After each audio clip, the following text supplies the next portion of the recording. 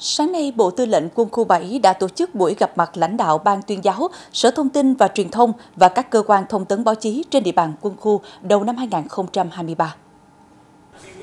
Phát biểu tại buổi gặp mặt, Trung tướng Trần Hoài Trung, Bí thư Đảng ủy, Chính ủy Bộ Tư lệnh Quân khu 7 đã nhận định, năm 2022 dù còn nhiều khó khăn, tuy nhiên Đảng ủy Bộ Tư lệnh Quân khu, các cơ quan đơn vị lực lượng vũ trang Quân khu 7 đã phối hợp chặt chẽ với các cơ quan tuyên giáo, truyền thông, báo chí, thực hiện tốt công tác tuyên truyền nhiệm vụ quân sự quốc phòng, qua đó phát huy sức mạnh tổng hợp các nguồn lực, xây dựng nền quốc phòng toàn dân, khu vực phòng thủ trên địa bàn vững chắc, làm sáng đẹp hình ảnh bộ đội cụ Hồ trong tình hình mới. Trên cơ sở phối hợp, các cơ quan tuyên giáo, truyền thông, báo chí, trung ương, quân đội và địa phương đã tập trung tuyên truyền phản ánh toàn diện hoạt động của lực lượng vũ trang quân khu, góp phần lan tỏa hình ảnh, vai trò của lực lượng vũ trang quân khu 7 trong thực hiện nhiệm vụ quân sự quốc phòng, phòng chống dịch bệnh và giúp đỡ nhân dân cùng với đẩy mạnh tuyên truyền kết quả hoạt động của lực lượng vũ trang quân khu trong năm 2022, Cục Chính trị quân khu cũng đã phối hợp với các cơ quan tuyên giáo, truyền thông báo chí, chủ động đấu tranh phản bác các quan điểm sai trái thù địch, bảo vệ nền tảng tư tưởng của đảng, đường lối chủ trương của đảng, chính sách pháp luật của nhà nước,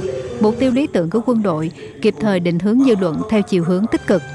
Phát huy kết quả đạt được trong năm 2023, Cục Chính trị Quân khu 7 cùng với Ban tuyên giáo Sở Thông tin Truyền thông, các cơ quan thông tấn báo chí trên địa bàn tiếp tục phối hợp chặt chẽ đẩy mạnh công tác tuyên truyền sâu rộng trong các tầng lớp nhân dân về chủ trương đường lối của Đảng, chính sách pháp luật của nhà nước, thực hiện tốt nghĩa vụ xây dựng và bảo vệ Tổ quốc trong tình hình mới. Đặc biệt, các cơ quan thông tấn báo chí cũng sẽ tiếp tục duy trì mở rộng và nâng cao hơn nữa chất lượng các chuyên trang, chuyên mục, tin bài phản ánh về hoạt động quân sự quốc phòng, đối ngoại quốc phòng, phản ánh kịp thời đời sống sinh hoạt của bộ đội, nhất là các cán bộ chiến sĩ làm nhiệm vụ tại biên giới hải đảo vùng sâu vùng xa, những mô hình mới, cách làm sáng tạo hiệu quả và những điển hình tiên tiến trong lực lượng vũ trang quân khu. Dịp này, Bộ Tư lệnh Quân khu 7 cũng đã trao tặng bằng khen cho 35 tập thể và 55 cá nhân có thành tích tiêu biểu trong phối hợp tuyên truyền, xây dựng nền quốc phòng toàn dân và hoạt động của lực lượng vũ trang quân khu trong năm 2022.